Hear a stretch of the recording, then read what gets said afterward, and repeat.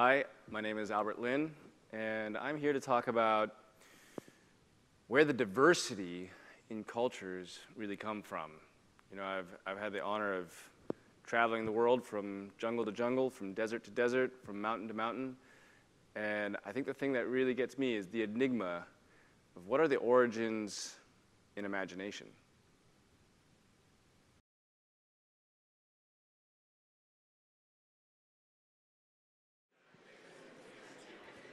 So good evening and welcome.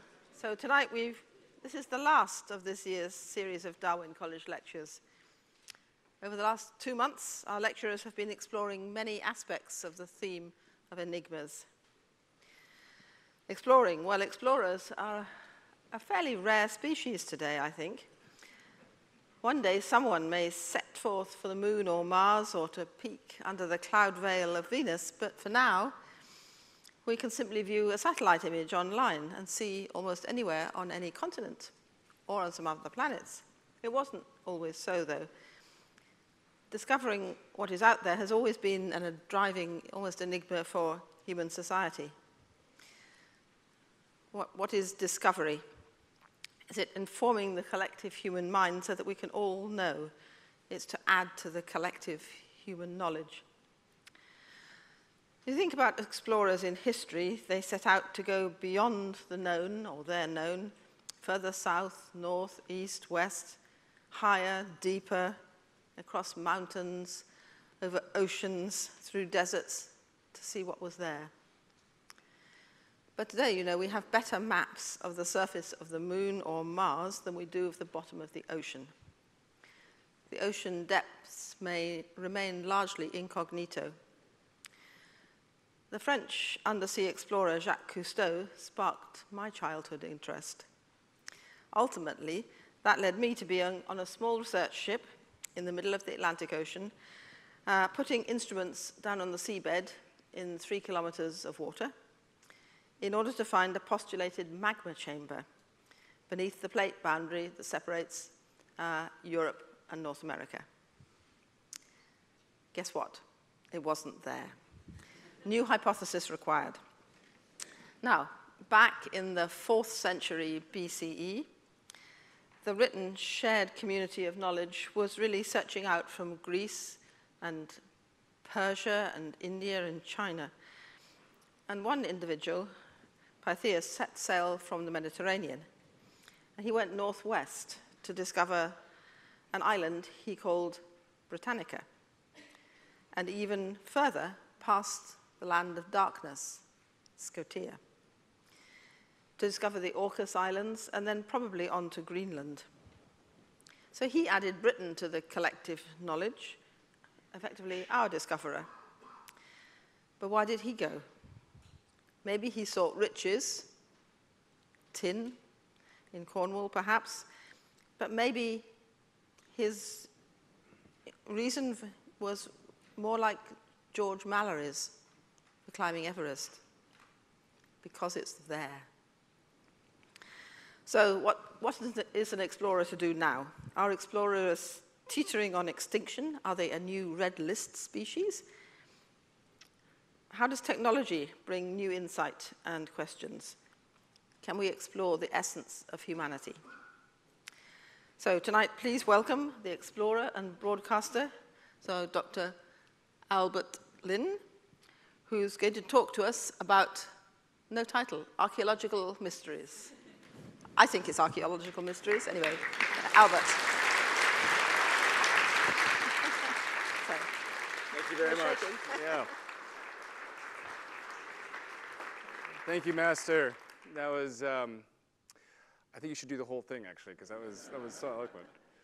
Thank you all for braving, uh, braving coronavirus to be here. I know um, it was, I was actually saying it's, it's, it's a bit ironic considering this is the Darwin lecture series and it might not be serving our, our, our deepest survival interest to be in this room right now. But we're here. We're here, so let's do this. And I promise I'm not going to talk about Corona anymore. Uh, you know, I have to say it was a lot more terrifying for me to come here than I think most other talks been a bit of a challenge trying to think about how to compose this. I'm not an archaeologist, uh, as may have been mentioned. I'm, a, I'm an engineer. I'm an engineer. Uh, and somehow, over the last decade, I've had this incredible experience where the projects that I've done uh, and then the things that that have led to have combined engineering and storytelling to the point in which I've had this incredible honor of just bouncing around the globe nonstop, uh, meeting people that are doing some incredible things and then applying technology, maybe to see if we can push the frontier just a little bit further.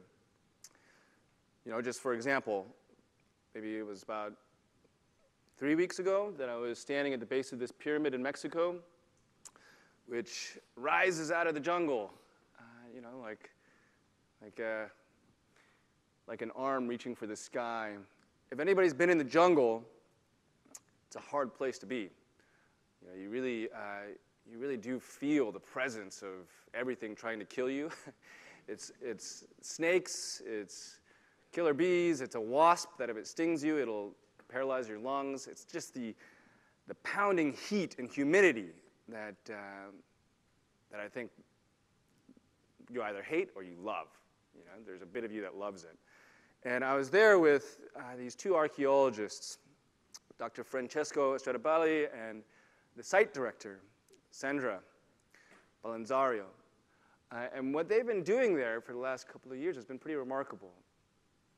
Finding things within these pyramids that you, you wouldn't quite expect, that might shift your understanding of how a civilization like the Maya might have operated.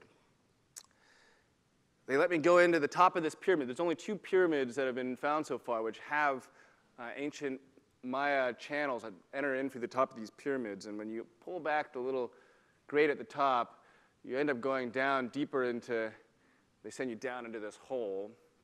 And as, as I'm descending into the hole, uh, Francisco mentions that there's not so many pleasant things down there, possibly, just to watch out for the, the possibility of a fer-de-lance snake, because uh, they hadn't been in there in about a year. Does anybody know about the fer-de-lance snake? You've got a 50 50 chance of living even with the antivenom. Uh, and they try not to give it to you because the antivenom itself is sometimes more dangerous than the bite. So it's not good. As we're heading in, this is what it, it feels like. That's like a mini whip scorpion. I'm coming. This is my sound recordist, uh, Simon, who's uh, going further and further into the channel as we're descending down ancient Mayan staircases. And, uh, and if you could hear what he's saying, I was, I was, he's, he's identifying a mini whip scorpion. Oh, good, right? This is what I feel like. No, okay. must be, it's got to be down there somewhere or on the camera. Just seriously, turn the camera around to me just slowly. There's a scorpion issue going on. We're trying to clear deep in the heart of a burial chamber. And um, the other challenge is that we all had beans for the last three days as we're in Mexico. So in the hottest, muggiest place I've ever been, everyone's farting. Scorpions and farts. Awesome. That's exploration, right? Yeah, no. I mean, it was, it was rough. You're down in a tiny little cramped corner, and all of a sudden you're sitting there face to face with the ancient chamber of a queen's burial. Uh, you know, surrounded by scorpions, of course. Uh, but, but it's remarkable the feeling you get when you're, when you're just past the veil, when you're, when you're there in a moment where you feel like you're, uh, you're, you're touching something sacred at the very limits of human imagination. We were using technology like LiDAR, interior LiDAR, to try to scan the inside of those chambers and then come out and build a 3D model where you can imprint the interior structure of the pyramid inside the exterior model that we've created and try to see whether or not we've hit bedrock. Uh, and we hadn't, which means that there might be another tomb further down beneath. And then that was, what, that was maybe, I think, less than three weeks ago that I left there. And then and then I headed off to Peru. So just last week, I was uh, at a site that's called Chan Chan, which means sun sun. Uh, it's on the coast of Peru in a desert. It's a remarkable place. It's, they think it's actually one of the largest uh, adobe cities, or cities in general, uh, in, in the pre Columbian world. Uh, and, and it's just this place that sort of has melted away over time, but once housed a vast empire before the Inca. And I was there, uh, you know, and this, this time was something like around, I think it started around 850 AD and got to right before the Spaniards arrived, uh, and then the Inca took it out. Uh, but at, its height, it had 40 to 60,000 people in it. And at that time, that was more than were here in London uh, at the time.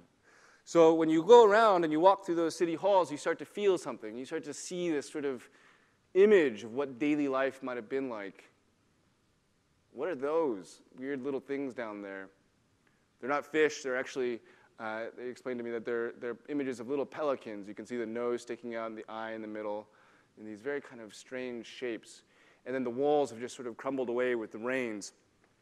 Right outside of, of Chan Chan, which is supposedly the sixth driest city in the world, or near there, the neighboring city, uh, is something is something quite gruesome, actually. You know, the world there was one that was imagined out of a connection to the natural world. Everything was about the natural world, right? They're living in an incredibly arid, dry place. There's these really intense anomaly, anomalies, these possible rains. They, you know, everything is based off of their understanding of their relationship to what's happening around them. They're using what they see around them to try to connect to nature. There's a deep culture that was based and still is based in, in using plant medicines to try to connect to the spirits of the natural world. Plants like San Pedro cactus, uh, which is a uh, entheogen, a term that's been coined by a group of people, maybe not, not more than 20 or 30 years ago, Carl Ruck and others from Brown, to describe the use, the cultural use through time of hallucinogenic plants, uh, you know, to, to try to understand our, how we've used those as human beings through time. And still today, everywhere you go, people are talking about a connection to the San Pedro uh, in Peru. It's been described as something that sets you free from matter and for the chimu, they would drink it out of a, uh, a drink that they called chimora, uh, and, and during every full moon. It was a full moon thing because they worshiped the moon. Uh, and when their lives changed, for whatever reason, they had to try to figure out how to stop the change because they needed to try to figure out how to return balance to their world. And just recently, right, side, right, right, right outside of the walls of Chan Chan, uh, they found the remains of what they think to now be the world's largest child human sacrifice. Uh, you can see the skull of a young child that I'm holding. It's actually not a regular shaped skull. It's been, it's been modified, uh, as is the tradition in the Amazon, actually, where uh, they've put you know, a, a, metal board on top of this child's head over time and created this, this shape that might have been more culturally pleasing. Uh, but these kids came from all over the place this, this one moment. Uh, they weren't they weren't necessarily, well, we don't know if they're brought by force or not, but apparently, based off of what they've been able to study from the bones and from uh, the matter around their bellies, is that they were all eating the same thing for about three months before they're led to their death. Uh, and then there was a systematic killing. Uh, there was a, um, this incredible knife that was found, this blade that, uh, that they showed me, where um, where it still has the beads inside it at the end of its rattle. And the rattle signifies the sound of death. And as this archaeologist was showing me the sound of this rattle, you could actually hear the sound, the last sound that those children heard before their chest was cut open and their hearts were ripped out, because you can actually see those systematic cut marks on all 137 skeletons that were found in this one pit, in this one moment. Now, what was that for? Why did they why did they all go to that end? What do we do in the human, the extreme ends of our human nature?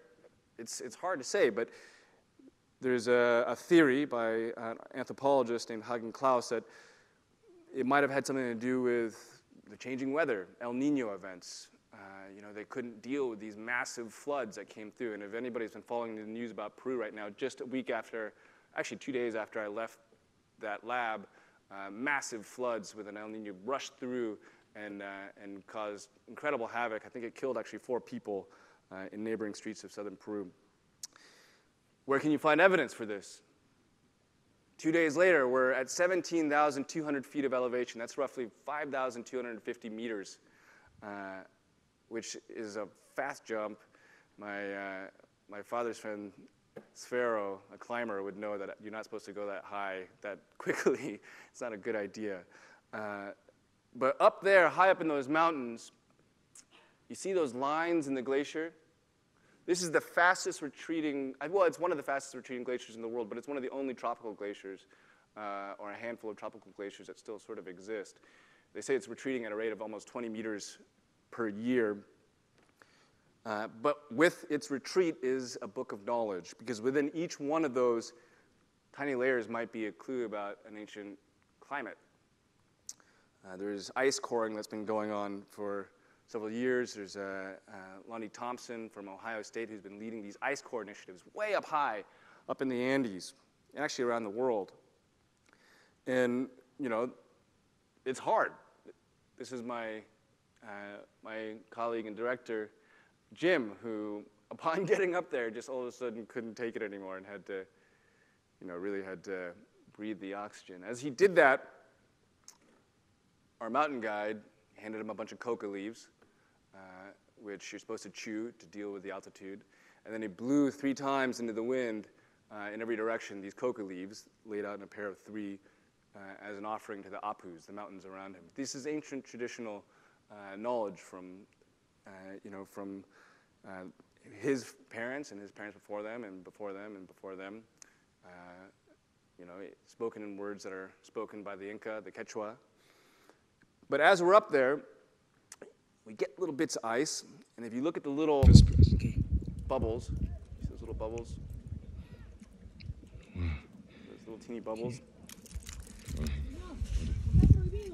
Those bubbles were trapped there when those layers of ice were formed. And you know, as you go further down those layers, you go further down in time, and that bubble might have not been released for 5,000 years.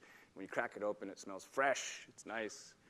Uh, but within that is knowledge, information, chemical information that they can use to glean what it was like in that area. And sure enough, right around the time of that massacre, there was these massive El Nino events uh, that would wipe through uh, and possibly wipe out that city. This has been, uh, I would say, an incredible month. But over the last year, it's been even crazier. I've gone all over the world this is my crew and I on top of a mountain in Jordan, a place called Wadi Rum. Has anybody here been to Wadi Rum? Yeah, it's a enchanting place. It's hard to describe it in any other way. Uh, but people have lived there for thousands of years. Bedouin, you know, eventually the Nabateans that would go on and build something like Petra.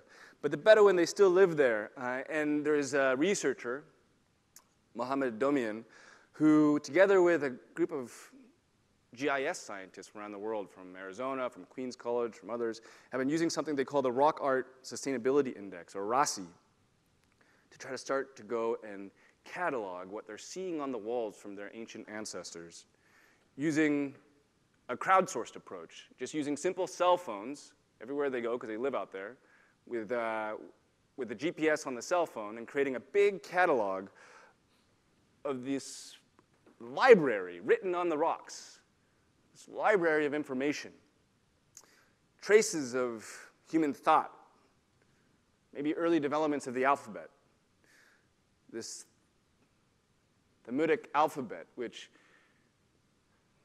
some of these markers, they still make sounds that are used today, like that little triangle is actually branded on the side of the camels that sat in the camp uh, next to us, and they, made it, they said it made it sound like an otter sound or something like this. But it's, this is stuff from an, an habitation across the region that dates back 10,000 years or more. Uh, and now, today, with cell phones, these Bedouins are running around cataloging where they all are and creating a map of ancient knowledge, crowdsourced uh, out of low tech devices already in their pockets. These same people would go on to become the Nabateans that would build Petra amazing Petra. And at first, you see Petra, and you're like, man, that's amazing. It really is. But imagine it when it was there. It was blue and yellow. It was painted in different colors. It was influenced from interactions they had from all around the world. Uh, and then what you don't see until you get up on top, which you're not allowed to do unless you're filming there, which is what we've been able to do, is get this crazy access, is that on the top of each of those roofs are these little catchments. It's all catchments. It's all a bunch of pools. The whole thing looks pretty, but actually it's this incredible network of water catchments. And they all feed down into these underground cisterns that still fill with water today. So the whole thing has these channels that run through the sides of it, fa- the faces of this stone wall, and, and they feed down into these underground pools. And that's how these, in fact, if you look at the whole city of Petra, is just one huge bowl feeding down into these cisterns in the middle. Uh, and it's remarkable. It's beautiful, but it's remarkable as an engineering feat. Incredible. Not so far away, I was in, I was in uh, the Rift Valley with uh, Dr. Revital Bookman, a geologist from Haifa University. And she's looking at these settlements the same way that Lonnie Thompson was looking at the glaciers, using it as a record. But not only a record of what got deposited there, but, but the, the geological violence across the region. These deposited layers were created with these flash flood events through the desert. And then you can see those swirling patterns. She calls them uh, lacustrine sediments. And, and they're related to specific earthquakes that she can then use radiocarbon dating to see where's in the settlements and see when earthquakes happened across the region. And if anybody knows the Rift Valley in Jordan, uh, it's where the tectonic plates are literally ripping themselves apart. Earthquakes, massive earthquakes. You have, you have the whole thing sitting on uh, this salt diapir. So when you look at the Dead Sea, uh, you actually have these moments where bits of tar, big chunks of tar, would float up to the surface uh, at random times because there's tar trapped underneath the Dead Sea. In fact, that's what the Nabateans used to trade a lot of, actually. They'd, they, there was these descriptions of taking like black cows of tar and fishing them out of the, out of the Dead Sea back in the day. That's, imagine that. But also imagine the stories that were generated out of a series of phenomena that you couldn't quite explain thousands of years ago. Imagine why, how you would come up with explanations for that. Think about where many of the stories that led to the three monotheistic religions today are really originated from. They originated out of one of the most geologically violent places in the world. Something there, right? Maybe there's some part of that that had to do with how we explain the phenomena around us. Not so long after that, I was up in the Arctic Circle with Jan Magne, looking at 6,000 rock carvings that date from around 500 BC to 420 BC. He uses that, this, this process called shoreline dating to figure out how old they are. Uh, it's a site called Alta. And what he explained to me here was that, that they would use the grooves of these stones and the movements and the actual pools that you see around us to create a three dimensional topographical map that then they would place their existing world on top of. Kind of like he described it as a Google Earth, but from ancient times. You see a bear there, you see reindeer, you see these images. Now, at first, you think, well, what is this? Is this a procession, a line? What is that? And then you look a little closer and he describes to me, you see that man up there with the arrow, a bow and arrow, and it's pointing straight up, and it looks like that man right in the middle, the third person over, gets hit with something. Jan's theory is that this is, this is a creationist story where we come from the reindeer, we live our life, we die, and we become reindeer again.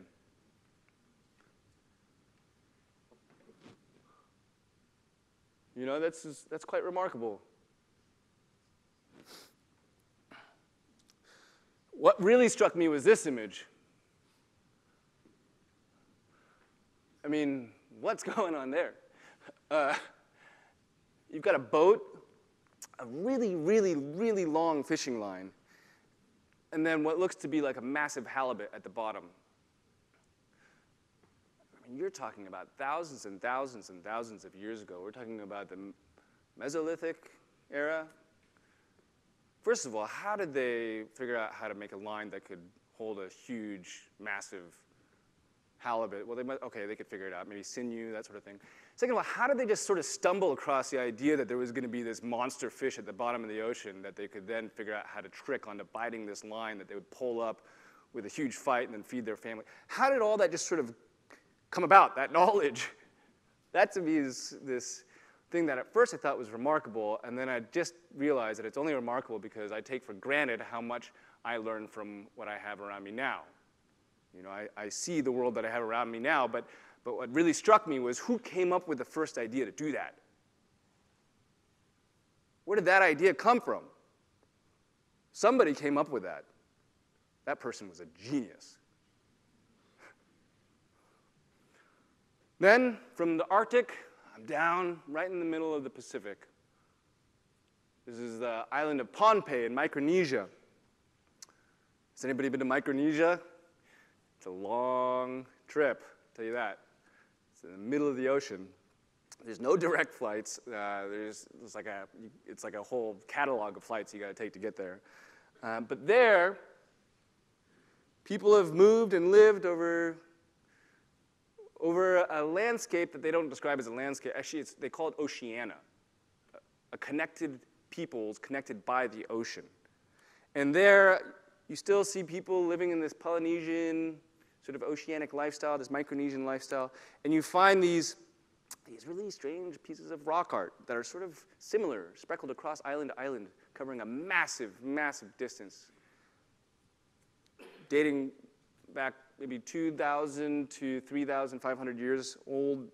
These pieces of rock art that are found on this island are found all the way out in similar ways out in New Caledonia, which are literally on the other side of the Pacific, uh, pretty much. Wow. Who imagined a voyage when they set sail, possibly from the Philippines, off into the horizon with their people, and then said, you know what, follow me. We're going to go try to find a new plot of land out in the middle of the ocean, maybe a, a, an island. We'll fish this island out of the sea. They call it fishing it out of the sea, these wayfinders. And there would be this, there's this story that Wade Davis talks about where you'd have a captain and then a wayfinder. And the wayfinder literally had to do nothing else but just sort of sit there and meditate on where they had been, remembering all the moments and chart, the, the points of the sky as it passes over you through time, and knowing where the stars are across a series of quadrants, and having that entirely memorized in their mind as they're moving forward so they can know where they're going. Their entire belief system is one which is built upon knowing where you've been to describe where you're going. And when I ask anybody on that island about their origin story, about where that all began, they don't have an answer. They just say, we came from somewhere, which is actually the only place I've ever heard that. Because everybody else says we came from, you know, uh, a cave or we came from the mountains. But to just say we came from another island somewhere and not really have a story before that is, is also pretty remarkable. So where am I going to with all this? This is about enigmas, right?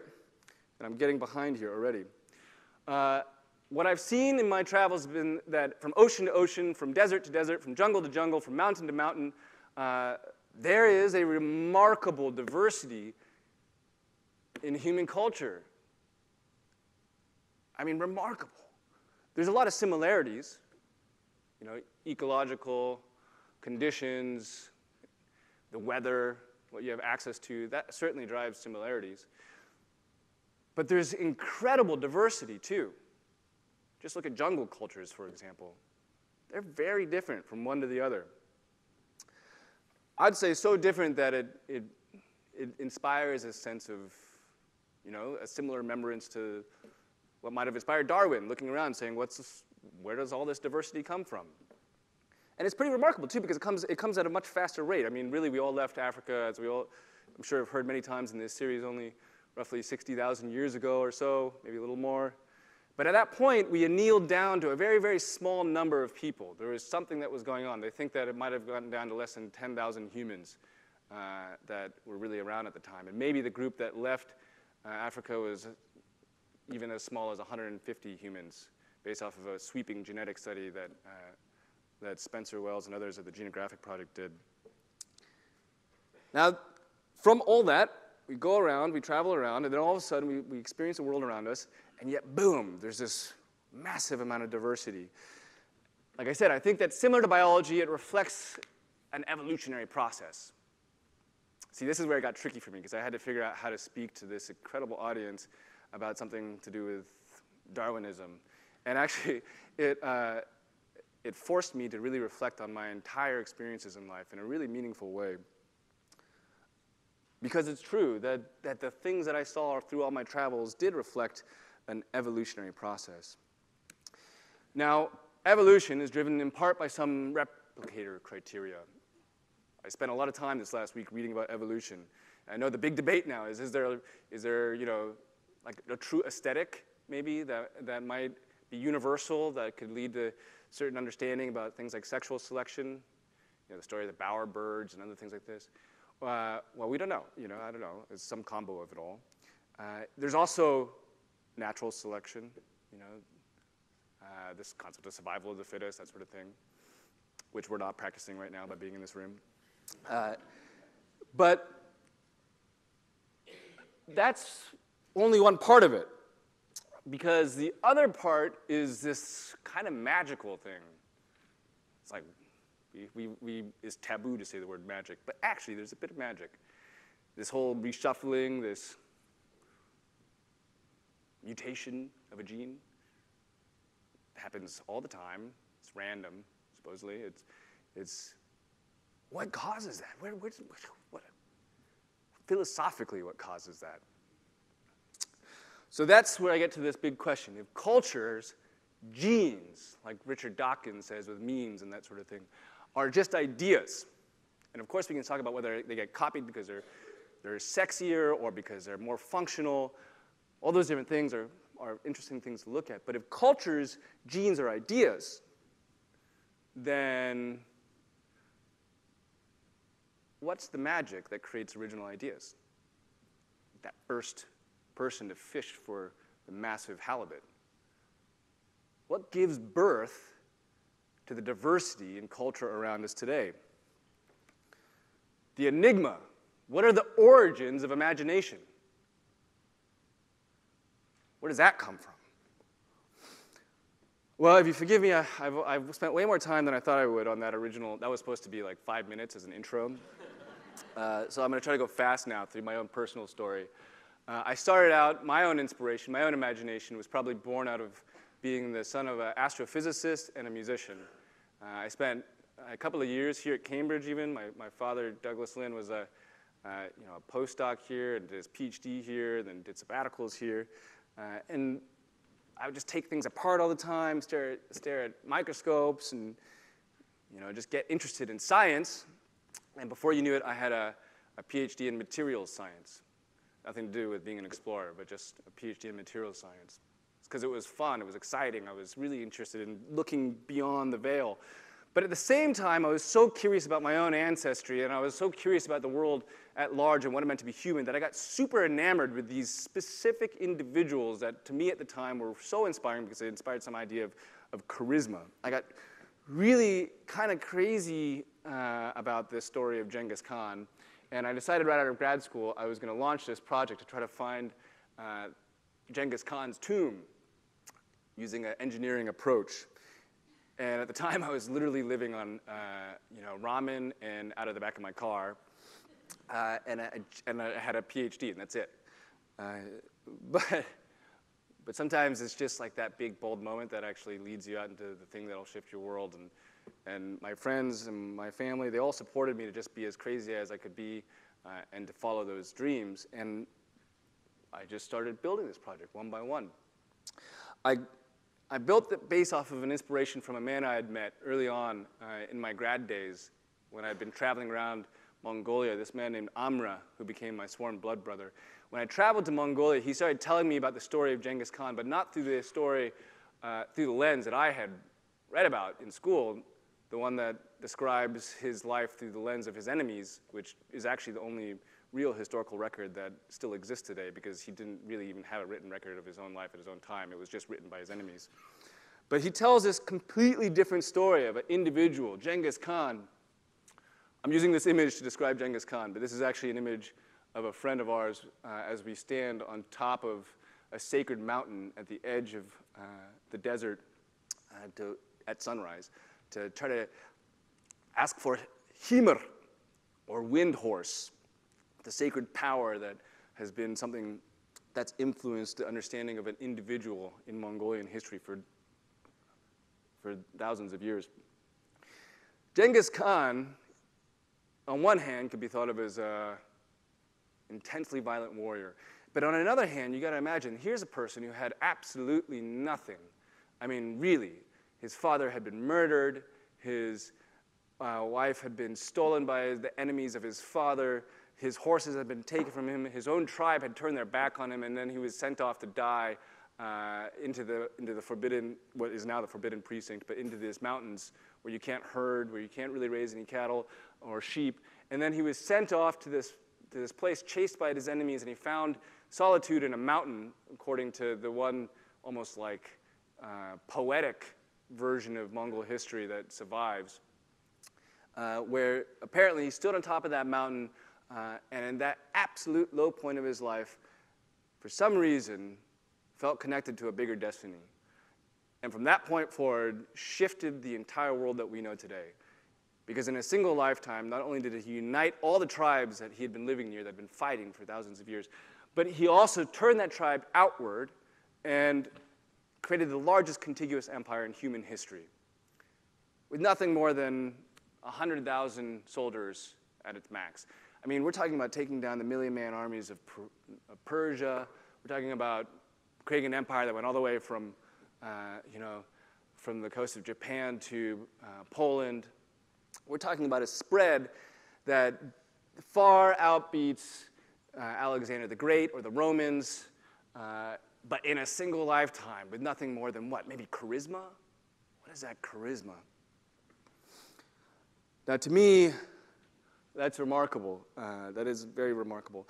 I would also note that at that time, uh, you know, that globalization that occurred did lead to, and this is my only other mentioning of a plague again, uh, the, the possible trade. They think that the bubonic plague, which happened uh, here, obviously, uh, in the years that followed, was because of this opening of trade from east to west. Uh, and, you know, that killed like half of Europe. So let's all be a little cautious about that. Uh, we don't know what happened to him. We don't know what he looked like. We don't know where he was buried. We don't know anything about him because there's never been an actual physical artifact found related to Genghis Khan. So I decided to look in the one place that was forbidden to go to, this area in the northern part of Mongolia on the border of Russia and Mongolia called the Ikh Khorig. And, and it's been forbidden to go to by decree of Genghis Khan himself because any disturbing of this tomb would cause a curse, they said, right? So I decided to try to use something that I knew, technology. I decided to try to sift through massive amounts of satellite imagery data. As we mentioned, satellite imagery allows us to look at the world in an interesting way from above. But I had so much data, I didn't know how to even make sense of what to look for. So I, at the time, it was, I was getting inspired by things like this company called Foldit. This was building a video game to fold, fold proteins. Uh, there was this lost explorer named Steve Fossett, and then and he died in a plane crash, but they were looking for his plane crash using something called Mechanical Turk. Uh, and it, those things really inspired me. So we built a video game to get lots of people to help us search, uh, where we would get the satellite imagery, we'd, we'd cut it all up into little bits here and there, and then we'd ask lots of people online in parallel to look at the data. And then the only feedback they got wasn't what I said, was right or wrong because I didn't know what to look for. It was what they said to themselves. So they would see something, they would put a marker on it, they would commit their answers, and then the next thing they would see would be what everybody else had said about the same image. And over time, you get these trends that would emerge out of the statistical agreement across the board. And then we'd go out and we'd ride out on horseback and we'd go and try to find what they were looking for. And sure enough, we'd start to find things. This is a 3,000 year old Bronze Age burial. Now, wow, people working together at scale. We had 18,000, uh, it was, I think the added time online was 18 years of human effort just volunteered to us to sift through all that data.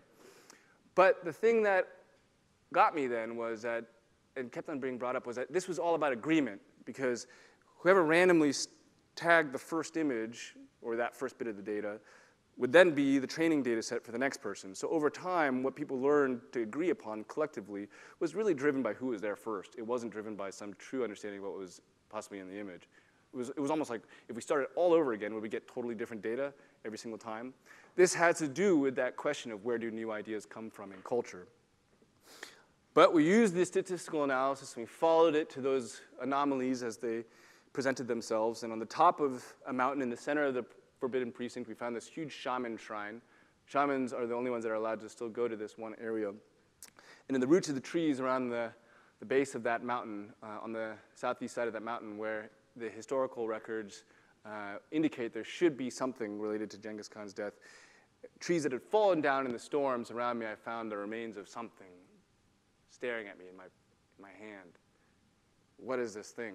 And as I ran from tree root to tree root, you could, you could almost hear your feet crunching under you on the grass, like it's like nothing I've ever experienced before. This is my first time in the field. I've never, I just did a PhD in engineering.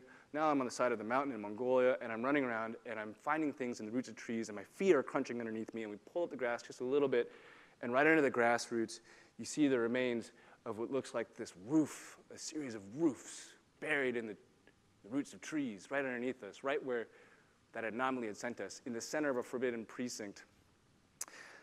Now, the main results of that find, uh, you know, were mostly embargoed, uh, but we did find bits of horse bone that date to exactly the time of Genghis Khan's death. Lots of horse bones, uh, lots of lacquer and little bits of ceramic and things like this, but we didn't dig because uh, that's not what we were supposed to do. We were just supposed to, you know, identify it. And then we used ground penetrating radar, magnetometry, and all these other tools to try to sift through it. But what really got to me was the individual story. I learned something about a person who went to their lowest point. I mean, we've all experienced those moments, right? Those moments where you, you got nothing left. I mean, there's, there's been one or two in my life, for sure, where you're at the very, very, very, very, very bottom of your existence. And it might be that in those moments we get to some kind of euphoric state. Who knows? Something, the breakthrough. I mean, this whole thing about memes. I read a lot about Richard Dawkins and memes. I also talked to my uh, friend and colleague, uh, a good friend named V.S. Ramachandran, a neuroscientist. Does anybody know that name? He wrote Phantom in the Brain, remarkable individual. He says that you know, there's some basic instincts that we pull from more than just what we find attractive around us. But, but what creates those moments where we don't care about that anymore? We don't care what people say around us. We don't care what's expected of us anymore. We just don't care to the point in which we can change our fate. It might be those low points. I found another individual, I gotta go a little faster here, uh, in the jungles of Mexico recently. This is a guy by the name of Sky Witness.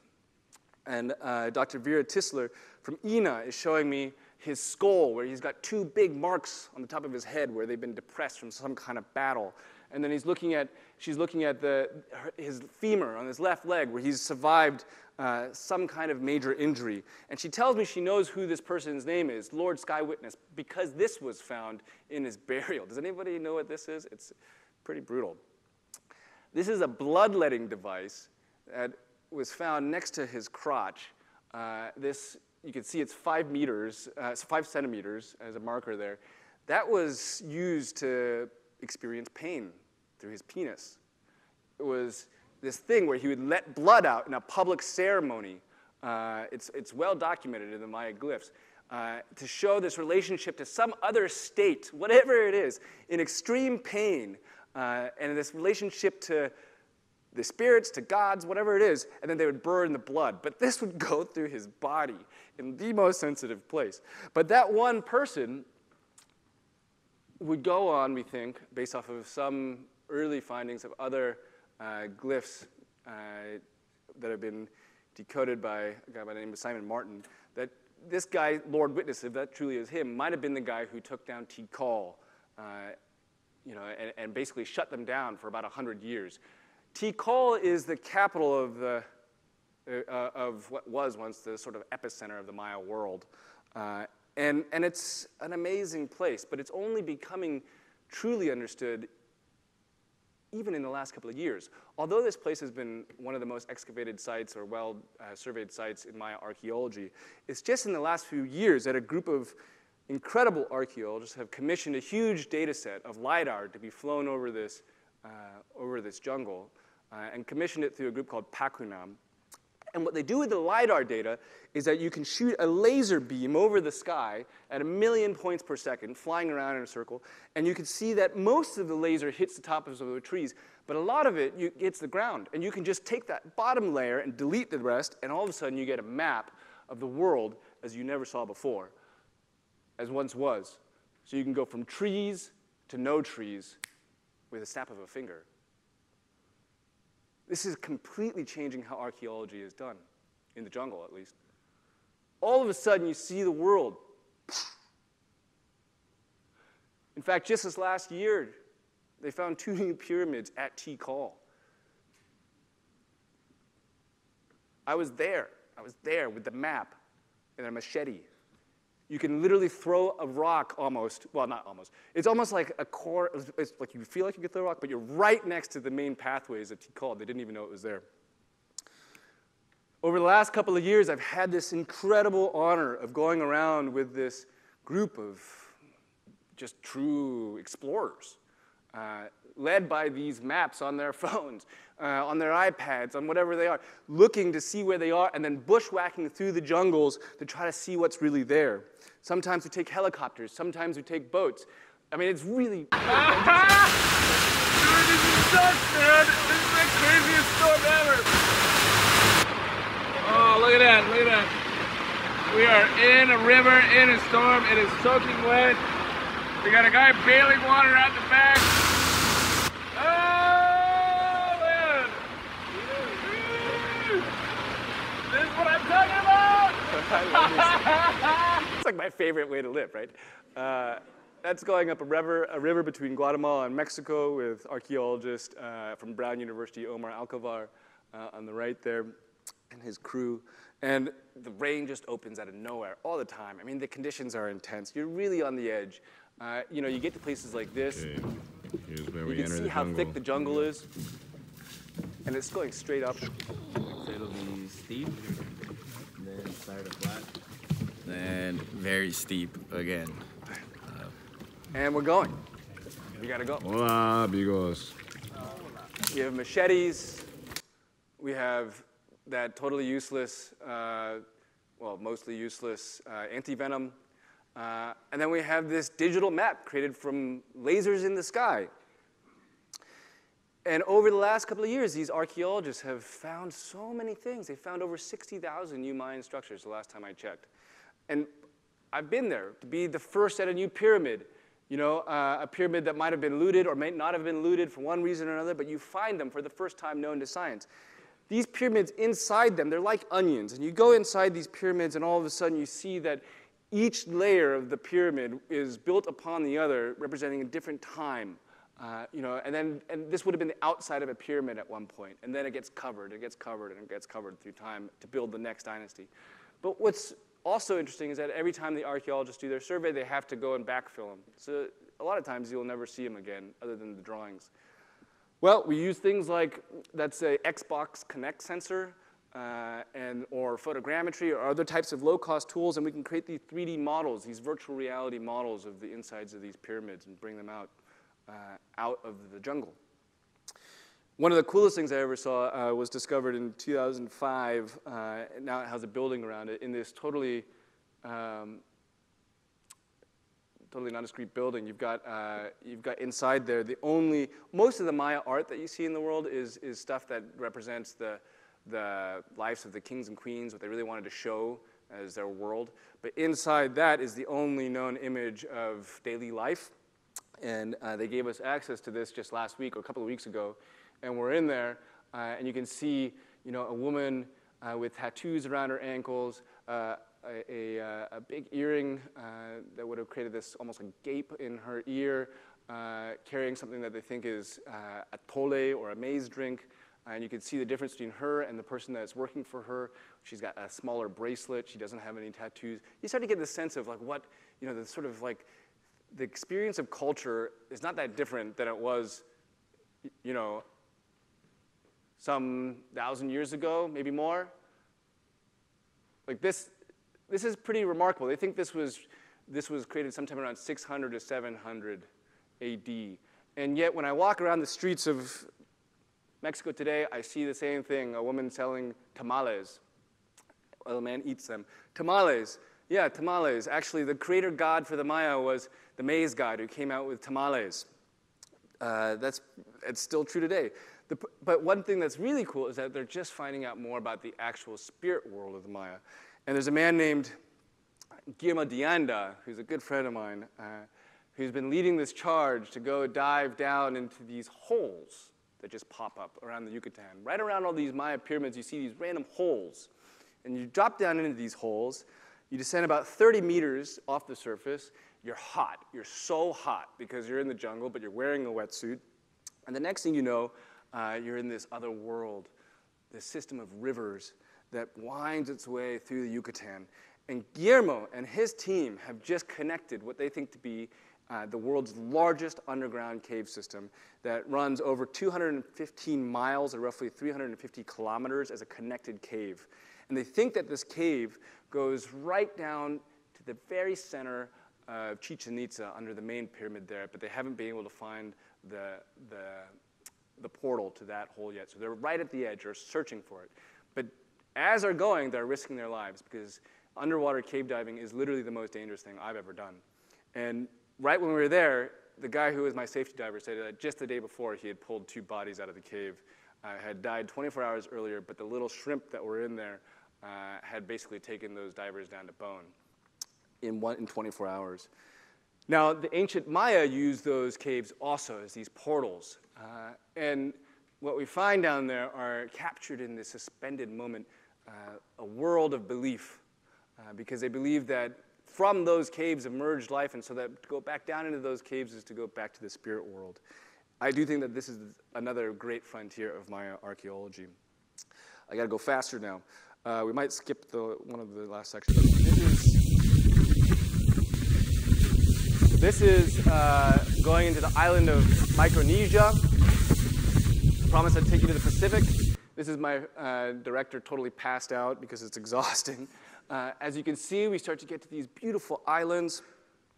Around the islands of Micronesia are more than just those little stone carvings. I saw something there that completely boggled the mind. Emerging out of the jungle is this world that, that makes you almost imagine a, a, a different human experience. Look at those stones, those massive basalt stones. We're on water. How did those stones get there? How could they have moved them in mass to build this world called Nan Madol? What are those stones, these mysterious stones? It's actually just now in the last couple of years been named a World Heritage Site, but has been barely really known. It was a place that was occupied by somebody known as the Saudeleur dynasty, somewhere around 1200 to 1600 AD, they think. Uh, but this place is intense. I mean, we're in the middle of the ocean. It rains 325 inches a year. It is brutally hot. How did they move those stones into place and from where? I mean, without anything other than willpower. This is where they are. You can see this is uh, a, a, map from NASA of uh, the weather currents through the year. Uh, Micronesia is, and Pohnpei, where the island is right in the middle of that dot. Uh, when explorers first found this, uh, they famously thought, like, well, they must have come from Chile and populated Oceania because there's a whole string of islands across there. But it was, it was Captain Cook who from Cook Island who, who started listening to the languages that were spoken around the region and, and realized that, that people were really, they think, originating from the Philippines. And that somehow they had figured out how to sail with incredible precision against the wind to populate this world across the oceans, island to island to island to island. Now, not only is that skill, but talk about bravery, because they think that some, at least half of them, didn't make it anywhere. Imagine just sailing into the sunset with hope constantly as your culture. That's remarkable. I, uh, I wanted to get to this site, but to follow the traditions of uh, the Pohnpeians, I had to go through the ritual rites to even get access to the site, which is still overseen uh, by the specific tribe of what are called the Nahnmwarkis, who took over the, who actually conquered the, the Saudeleurs. And that rite involves a crazy drink uh, built out of something called kava plant. So here's just, I'm gonna play a video, so it might be loud, so I don't wanna shock anybody again. So this is uh, ar archaeologist uh, Gus Kohler, uh, who's directing the conservation preservation effort at, for the island of, or for the Federated States of Micronesia. And he's getting me ready. So what, what is the language? Uh, Pohnpei. And what, what am I supposed to say to the chief? Uh, Kaselehlia Munsapoko. What does that mean? Uh, Munsap is you're referring to the eye chief. Eh? But they're, because we believe they're invasive, they're always, you talk to them in plural, as if you're talking to two people.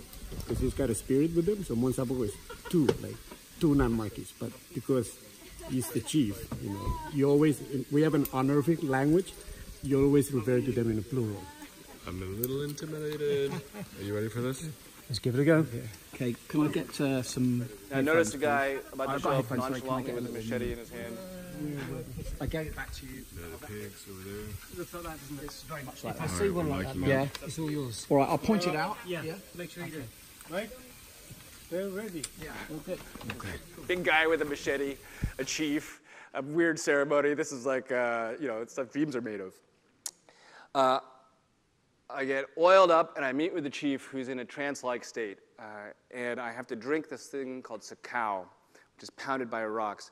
The, the first person to drink it uh, af- after me is our sound recordist. I mean, it makes your whole face numb.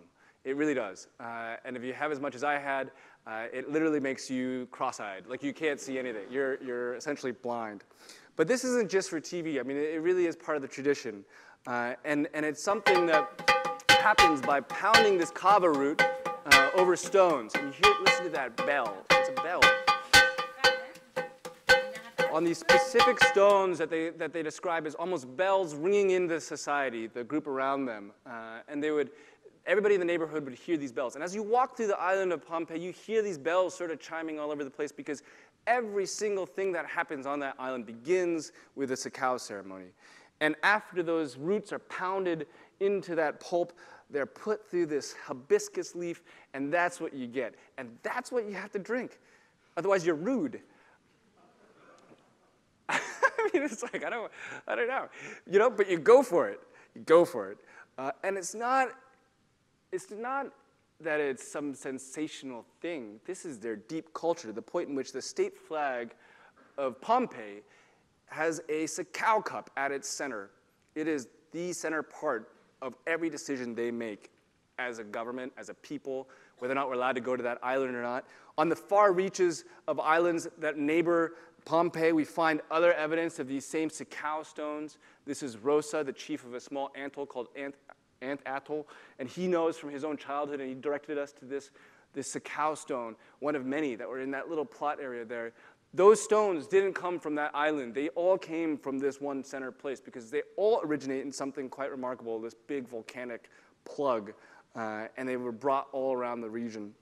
We take our, our technology. This is uh, a group called Visual Skies, an incredible group of guys that, that go out into the world with me and build the most incredible scanning models of these different locations. Uh, this is us getting ready with our little LiDAR drone. I want to show you the LiDAR drone real quick. You can see there the spinning blade uh, underneath that little spinning thing. That's shooting millions of points right now of lasers through the jungle. And as you punch through the jungle, you, you're looking for things like this this ancient world lost in the undergrowth. And through removing the trees, you can start to pull together a bigger map of what's there. And the whole point of this is that when you build that all together, you can sort of just brush away the trees and see what was once there.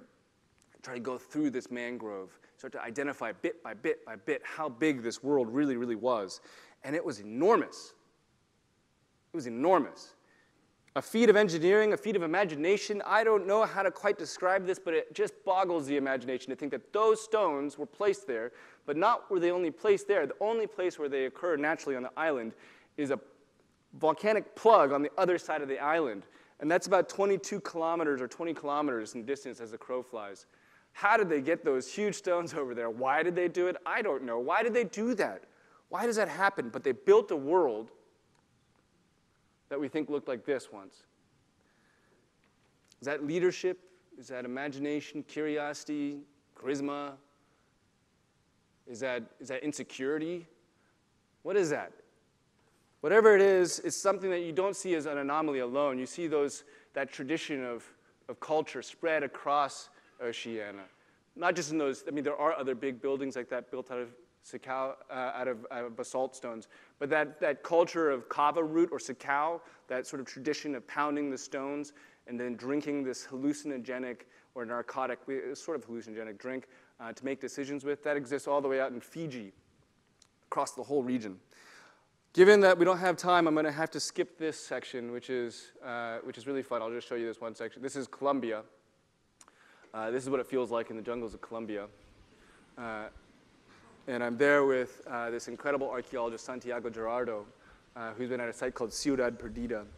We use the same technology. We map through uh, the, the jungle, uh, and we're able to delete the trees and find these pathway, pathways of a group known as the Tairona all through the jungles, hike to those different locations, and find these little bits of ceramic lost up in the mountains that are these signs that somebody once lived there. Nobody's been there for hundreds of years, maybe more, at least since the time of the Spaniards, probably. The Spaniards, again, came through and wiped it all out uh, with their disease. Actually, not just their disease, but their, but their, uh, their greed. They saw these little bits of gold, uh, you know, these, these, these, these fragments of, uh, of, of imagination, again, built by the Tairona uh, with these incredible details. I mean, look at that. Look at that work. Look, that's my finger there, so you can see how tiny that is. And they thought this was gold, but actually it was even more sophisticated because the Tairona had figured out how to gold plate through this chemical process. And they had little bits of gold, and they were able to craft these things and gold plate these things. So while the, the Spanish were like, oh, we're going to go get all this gold, they actually just were disappointed because they only got these like very lightly gold plated things.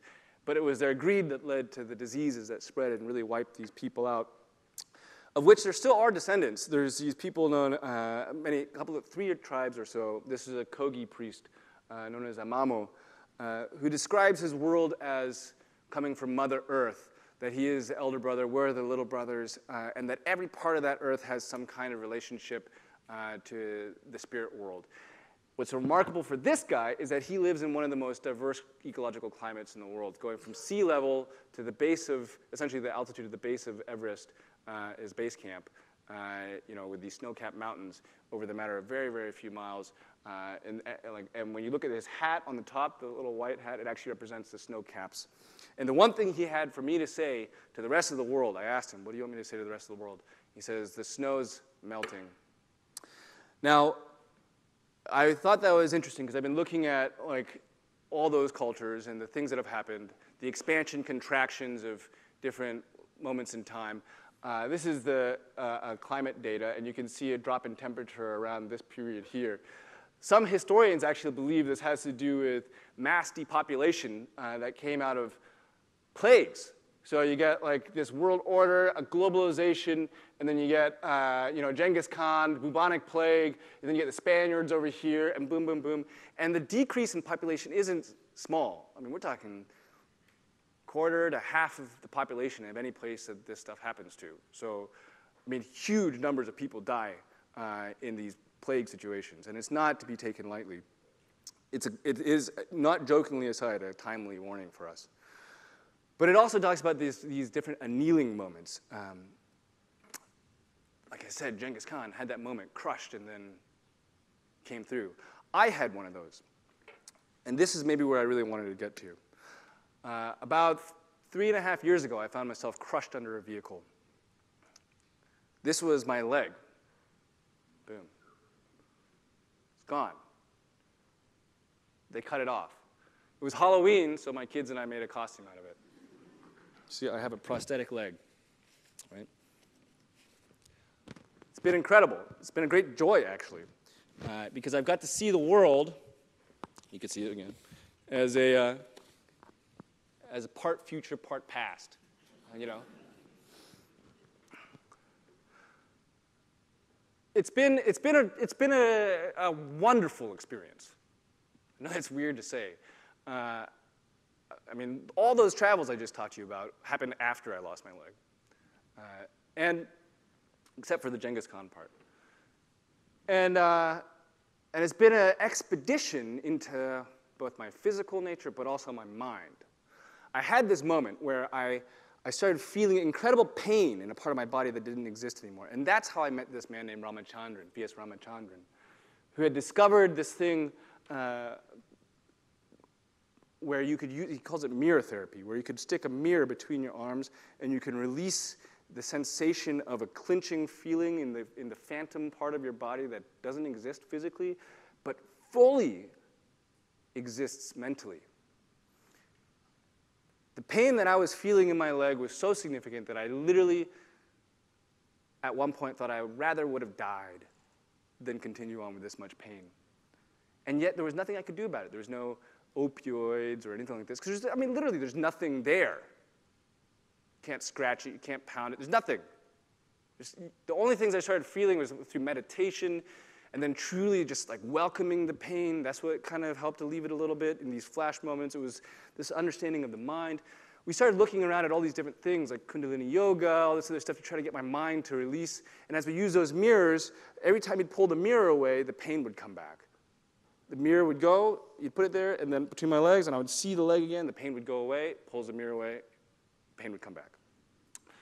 So we started looking at what makes the brain, what, what makes the mind? Where does the body end and begin?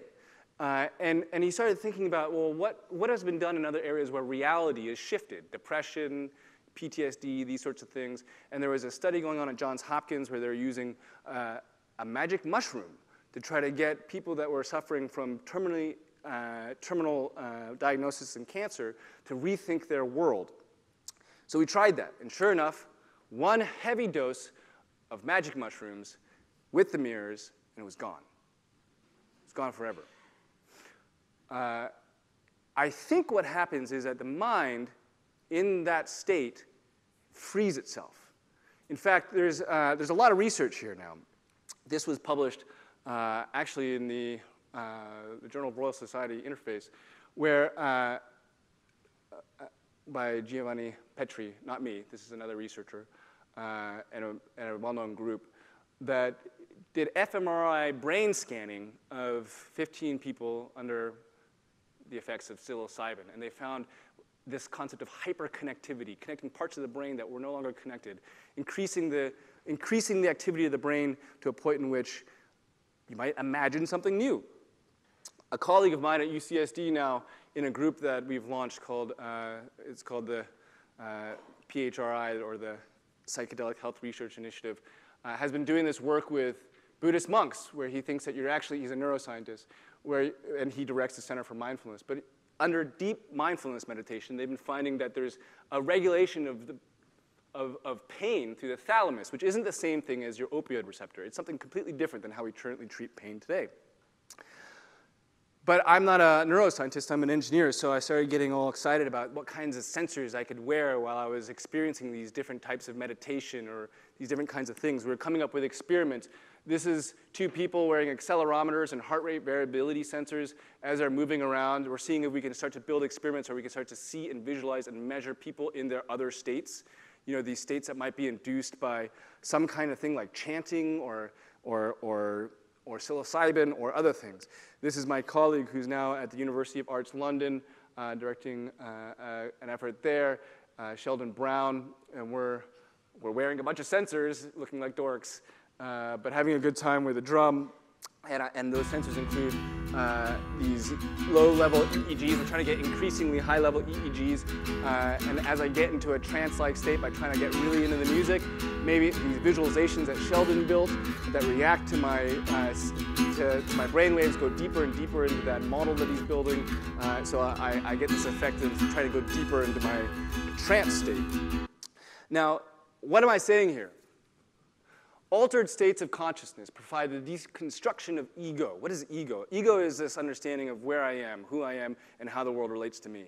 And I think that just like for Genghis Khan, just like for that guy, Lord Sky Witness, who would feel that pain, or just like for really anybody that has imagined something new, these altered states, whatever they are, a deep meditation, a prayer, a song, a chant, a kiss, that moment where you forgot yourself, you don't care about the meme, you don't care about what you copy, you're in a free state. That might be what we call the, the destruction of ego. In neuroscience, they're calling it the end of the default mode network.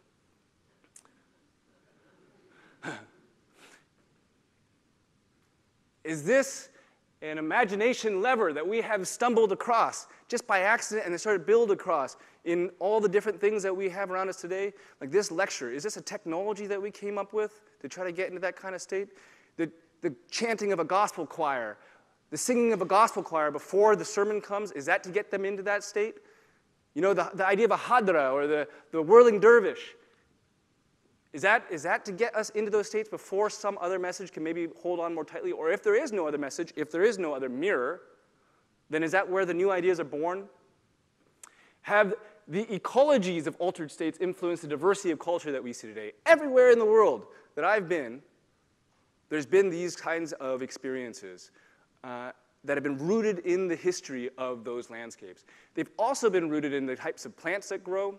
You've got fly agaric as a mushroom that grows up in the north up, up by the reindeer people. You've got uh, you know, ayahuasca and San Pedro that has been deeply connected to the cultures of the South.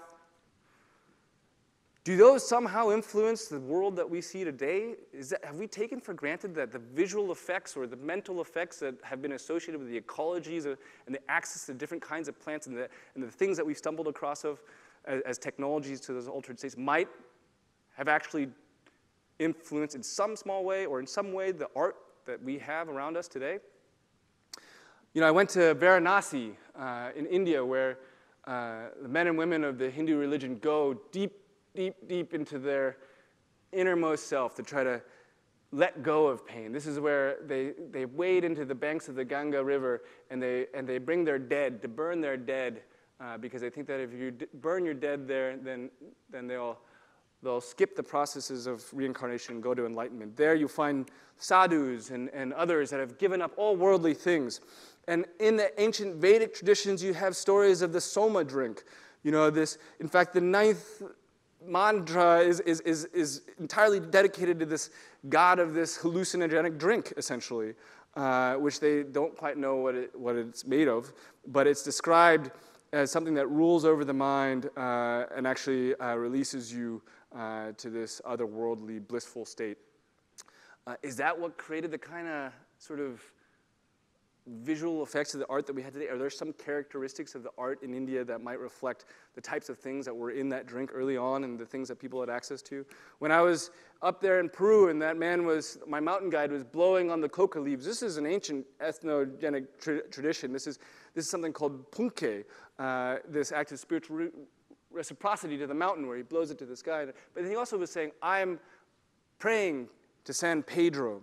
When I was standing at the, uh, at the side of Machu Picchu with the director of archaeology for Machu Picchu, Jose Bastantanti, he described to me that this whole landscape, he believes, was a ritual center, and that each one of these terraces was covered in rapé, uh, a certain type of plant uh, medicine, uh, San Pedro, the psychedelic cactus, ayahuasca, uh, and other types of plant medicines that have been deeply connected to those cultures uh, through time. You go to the very heart of, of uh, Machu Picchu, and there is this thing uh, that nobody has access to anymore because apparently some like ad company broke part of it uh, while trying to shoot a commercial.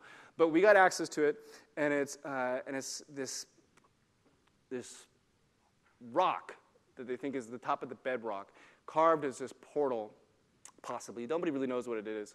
You know, Hiram Bingham called it a hitching post to the sun. Uh, and, uh, and Johan Reinhard said that it was this connection to a mountain, the, the main mountain off to the side. All I know is that Machu Picchu is surrounded by this river, and, it, and, it's, and it's this, in the same way that Varanasi is surrounded by this river, and it's this central, almost like a uh, spiritual portal for the people of the ancient mountains there in the Andes uh, and that the world that they had is one that they still feel today. This is uh, another site not so far away where this local shaman is performing a San Pedro ceremony around this uh, semi destroyed uh, piece of archaeology there that's on the side of this uh, Inca staircase. And it's been blown up by miners uh, in the last hundred years. But he described it as a, as a portal to the next dimension. I go back to Chan Chan. I look at those, those really, those really kind of geometric, weird uh, I don't know how to describe this other than as trippy, uh, um, peng- uh, what are these? Um, seagulls. I mean, they look trippy to me. Uh, and, and you think about what happened here. From this exact room, it was the central internal spiritual space uh, for Chan Chan. From that room, most likely the procession to lead towards the sacrificing of those children, uh, that's where it started in this little uh, like inner sanctuary. And then they'd go out to the main plaza, and then they would lead the procession out for their eventual death. Uh, their traditions were tied 100% to the changing of the moon uh, and their relationship to uh, the plants and cactuses they had around them. I'm going to fly through here a little more, and I'm just going to show that this is the kind of thing that we see today. Does this have some influence? Do these types of arts and types of culture have some influence of the types of drugs that people had around them at the time or entheogens? And I go back to this idea of the world that we see. When I was in uh, Micronesia, the decisions that were made were made purely by a altered state. Every decision in that government is made during this Sakau ceremony, from you know, whether or not you're going to allow somebody to get married or whether or not you're going to start a new farm.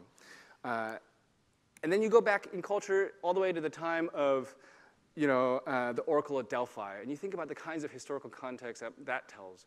You know, an idea that the most powerful woman in the Greek world was a woman who was ruling for about a thousand years as a priestess who would get chosen out of the public, would sit on a golden tripod, look into a gold bowl uh, filled with water, hold some leaf, they think it was bay leaf, and smell the fumes that would emerge out of a crack in the earth and go into a trance like state to answer yes or no questions from the public one day uh, a month, nine months out of the year that would define the fate of the Greek world. What I'm saying here and why I bring this stuff up is that I don't think that we remember that these altered states have been such an important part of our human imagination through time. It's not saying that they're good or bad. They could lead to bad things too. It could be brainwashing that leads to war, all these other things too. Uh, but they, they have been ingrained into the randomness, the magic that might be related to, you know, or similar, parallel to the idea of the mutations and reshuffling in genes but the reshuffling and mutations of ideas in society. And that the society that we see around us, the technologies that we see around us that get us into those, as, uh, as the uh, psychologist Mihaly Csikszentmihalyi calls it, flow states, those things might be very well trying to touch upon that same feeling of ecstasy that might be where we get all of our craziness from. So what's next? Where do cultures go? We're going towards this kind of monoculture uh, people say. There's 7,000 languages as of a couple of, uh, my friend wrote uh, as of 10 years ago, and of which one dies every two weeks.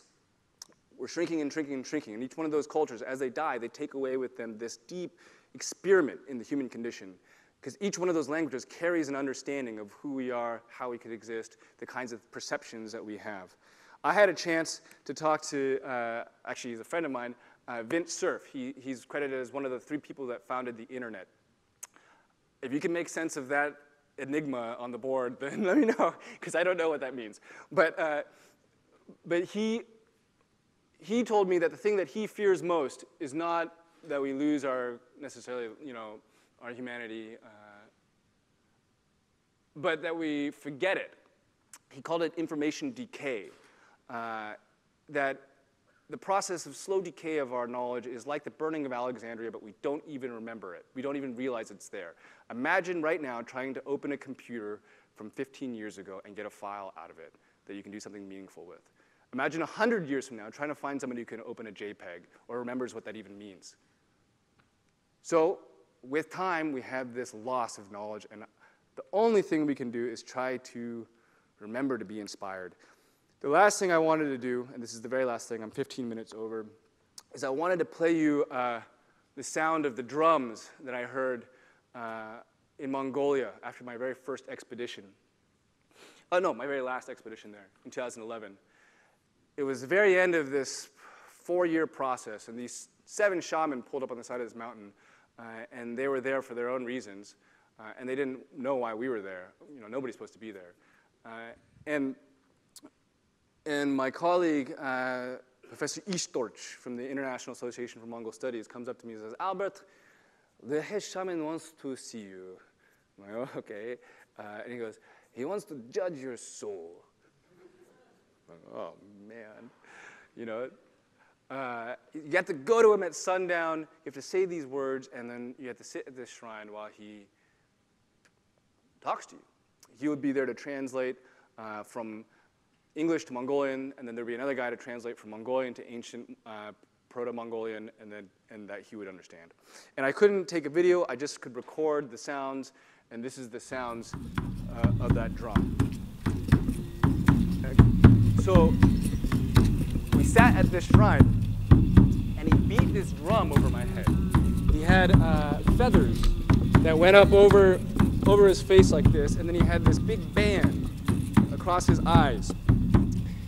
Band uh, was, was around his forehead. They, they're painted with these big, bright, wide open eyes that stared at you like you were. Uh, like you were transfixed in this moment of judgment. Uh, and, then, and then beneath that were these dreadlocks that hung down across his face. They would just hang there. Uh, and so then he would dance around you, beating this drum. Boom, boom, boom. There was, I remember it, there was these little, little bells that dangled off of him in all directions. And, and as he beat that drum, it got faster and faster, and he moved around. And I'm sitting there on the ground, petrified, waiting for this moment to end. And it just gets more and more and more intense. As the beating grows in speed, so does my heartbeat. I am transfixed in his heartbeat. I am sitting there in a moment of total awe, and then he just hits this climax and then collapses to the ground.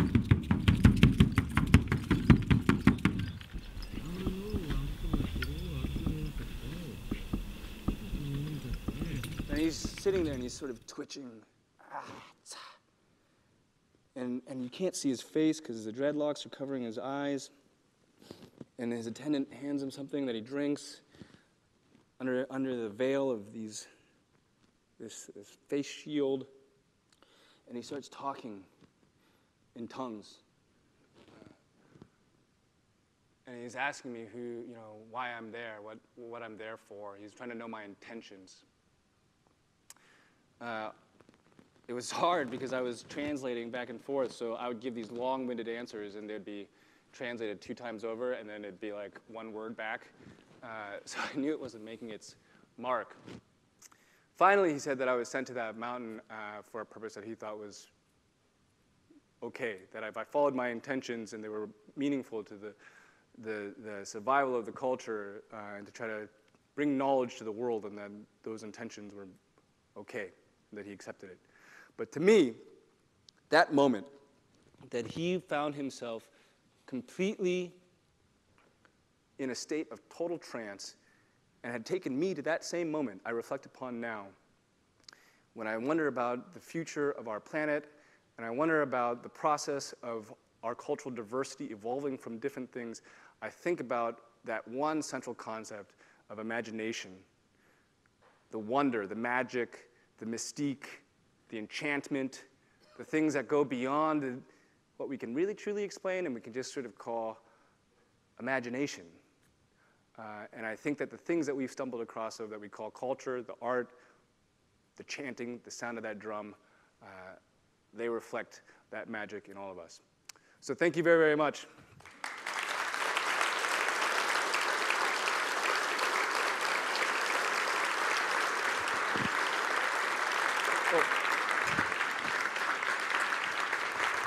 I, I want to say one last thing. I've got a lot of people to thank um, my mother, my father, uh, and most of all, my two little kitties, who this whole imagination thing is for.